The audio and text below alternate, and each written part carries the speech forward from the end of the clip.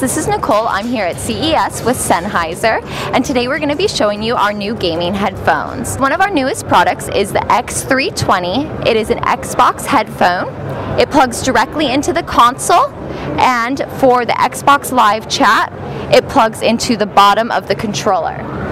It's very important for gaming to be able to hear the grenades, the footsteps, the movements of the players around you, and that's what Sennheiser has mastered.